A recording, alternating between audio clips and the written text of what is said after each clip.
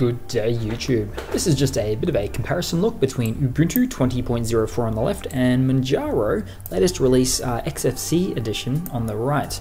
Won't get into the version numbers too much as it is a, uh, a rolling release, but uh, here we go. So starting off, uh, let's have a look at some of the few basic details which we'll see here.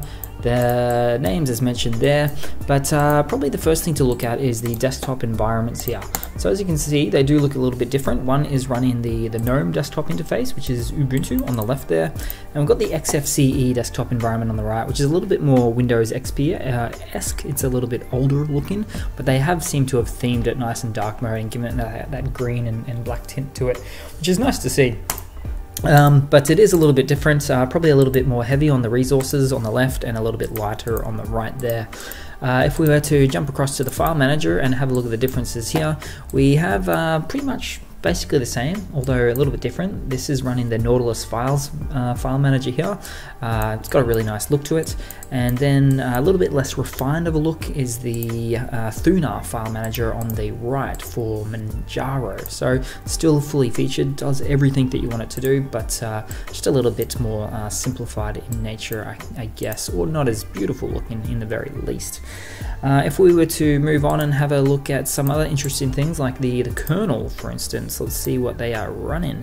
And Ubuntu is known for running some of the later kernel releases, but in this instance we have Manjaro that's running on 5.6, which is really, really good to see. They tend to freeze the kernel a little bit in uh, Ubuntu depending on the release there, especially for long-term service releases, but uh, this is actually both a long-term service release and the next recently available version of Ubuntu. But uh, later kernel means more updates to hardware, more functionality, uh, more, more driver information, just better all round, you could say.